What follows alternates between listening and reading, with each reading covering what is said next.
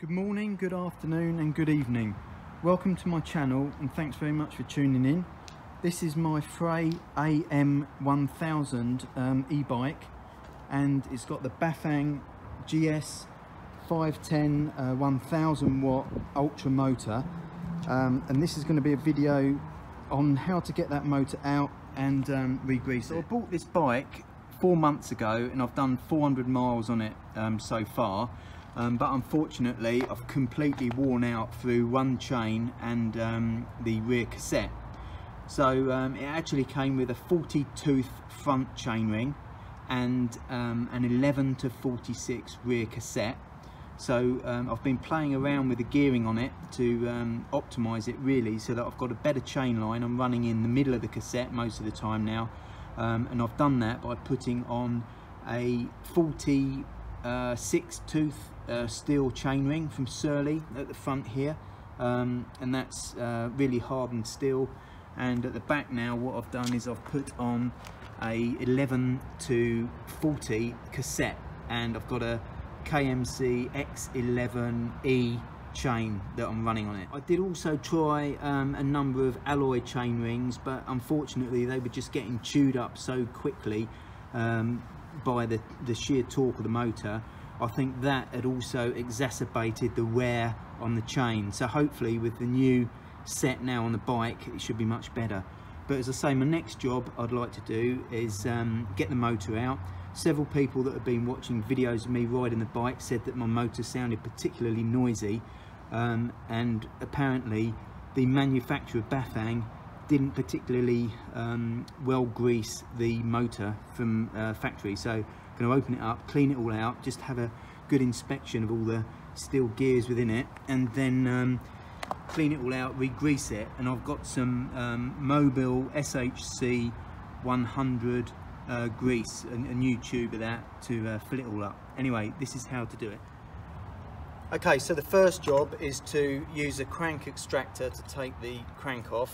Um, so we're just going to take out the retaining bolt there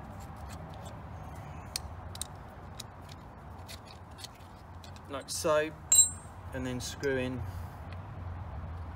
the crank extractor. You need to be really careful with this. You don't want to cross thread it you're going into soft aluminium. So make sure you tighten that right in and get it nice and tight in there.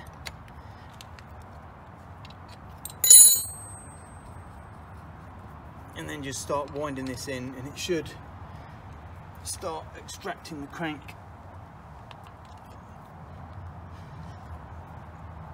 quite easily. And that's the arm off. And basically we're going to do the same on the other side. Okay, my next job is just to um, pop the chain off and the best way I've found of doing this is just put a little bit of a, a link across to bridge it um, and this is the one where you can literally just squeeze the links together and you should be able to just pop it off quite easily.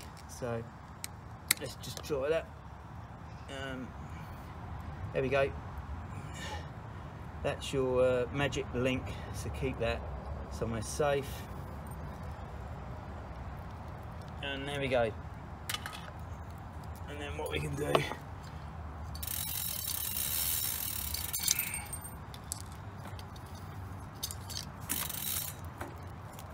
just pull that chain round like that and pull it off. Okay, the next job we've got to do is to remove the spider and chain ring. Um, so you're probably going to need um, a torque wrench for this and just make sure you do it the right way. Um, can be a bit uh, tricky, there you go. Um, and obviously when you put this back on it needs to be tightened up to um, 35 40 newton meters so. Great that's the chainring off. Nice perfect. Okay now what we're going to do is basically the same on the left hand side. Um,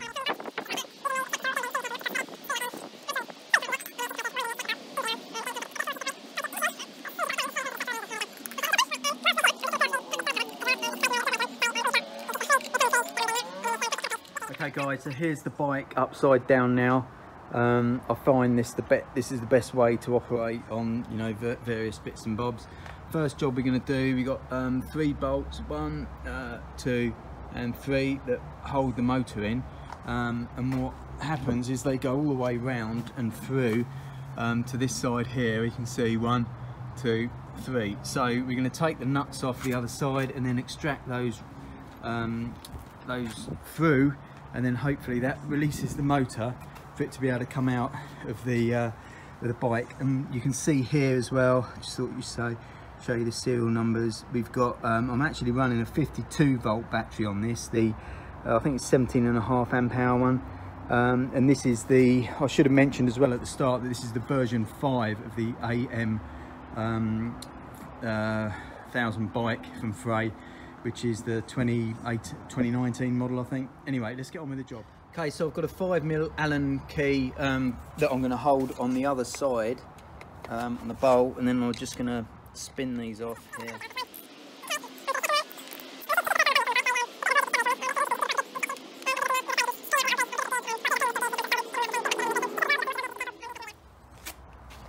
Okay, so I've actually found out the best way of getting these three bolts out is actually to uh, knock them through from this side. So just get them started with the hammer and then um, just knock them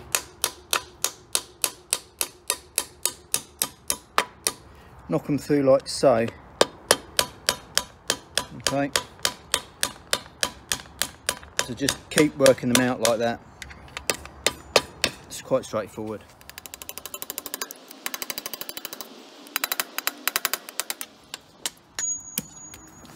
One, two, three. Right, now what we should be able to do is lift the motor up and clear of the frame. Okay, and then we've got various connectors here that we need to uh, disconnect. So what I'm going to do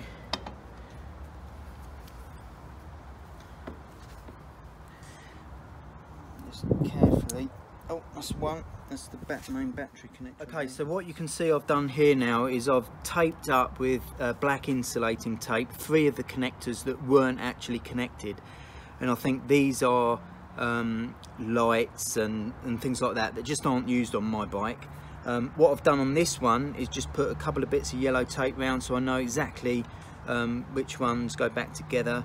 Um, so now I think I'm ready to disconnect um, these connectors.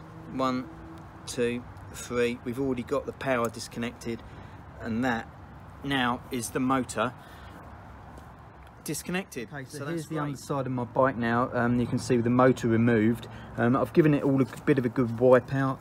Um, got all the cabling here um, what I've also done is um, there's one you can see just there that little loop that was one of the wires that wasn't connected to anything so as I said what I've done is um, taped over the end to just really improve the waterproofness of all of the connections and because it's not used I just tucked it up inside there so it's nice and neatly out of the way um, so now we can get on taking a look at the motor. Okay, we've got the motor out and on the bench. Now what we're going to do is just take out all of these um, retaining screws so just loosen these bad boys off um, and we should be able to get in there with a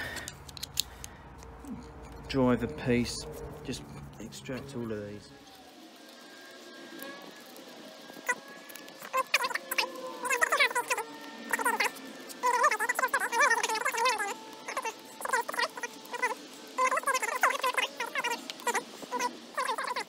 Right, so we're to open the casing up and it's just a case of carefully wiggling it out and there we have it. Uh, so what I'm going to do is just start cleaning these bits and pieces out. It really is a thing of beauty, isn't it? Um, anyway, that's great. Let's get, get to work cleaning it just before I dive into this and start putting bits out and cleaning it, I just thought we'd have a little bit of a closer look at it. Um, and again, I don't know whether you guys, you know, please do comment. Do you think you know this motor isn't sufficiently greased doesn't have enough on it. Um, you know I'm I'm just going to basically pump this this uh, bad boy full of grease and uh, see what we can do. But we, we give it a good clean up and uh, fit it all back together again. So yeah just just let me know what you think. Um, you know is that a bit sparing on the in the old grease front? Um, yeah. Okay I'm going to have a go at lifting out the, the gears. Um, so I think these two supposed to come out together. So let's just have a bit of a wiggle. Yep. So we've got those out. We give those a nice clean up and uh, just see um, if we can get those all really nicely re-greased again. So I'm done with cleaning it out now. I'm going to start pumping it full of grease. So I'm literally just going to go in everywhere with it. Um, and then let's see how we go. Uh, so this is the new SHC stuff that everyone was recommending. Um, red colour. I mean obviously you don't see this when it's all shut back up. Um, but I'm literally going to fill this thing up with it. Um, and we're going to go from here. So I'll show you it when I've got the job done. And uh, we put the other big gear wheels back in again. Alright so just finished that job cleaned it up as best I can and I've just literally completely pumped it full of um, SHC 100 grease. Um, I've cleaned up around the edges as well where the um, gasket's going to go back. Everything looks in really good clean order on the um, on the controller side as well. Just looking at all of that. So that's all neat and ready to go back together. Um, really pleased with that. I literally couldn't have got any more grease in there, I don't think. Um, let's see what it's like trying to get it uh, back okay, together. So we're going to have a go at getting this case back on. Um, just need to reconnect the hall sensor, um, which pops in just there, like that. Now, let's just see how we go getting this back together. So, wires are in.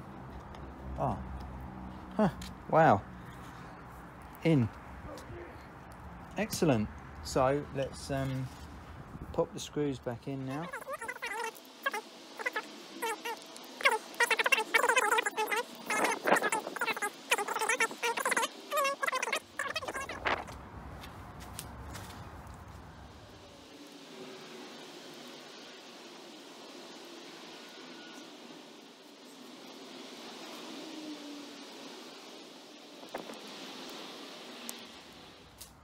So I don't know if you can see what I've done there, but basically I've taped up all of the um, connectors now, so they're all completely waterproofed.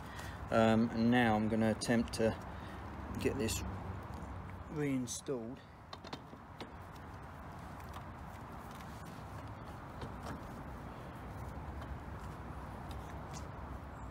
I don't know if you can see this, but basically I've, I've got it, the motor in now, and um, this side where you have the, the plastic cover normally um, just been sort of checking all around here that there's nothing's been pinched etc and it all looks pretty good.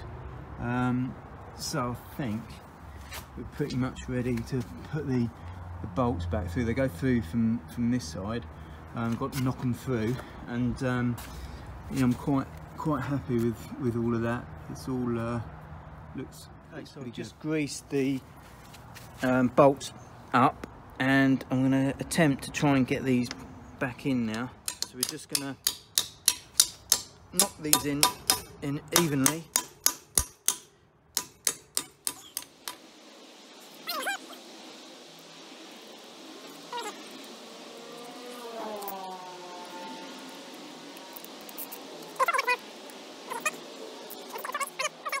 Next up we're going to put the spider and the chainring back on straight on like that reverse thread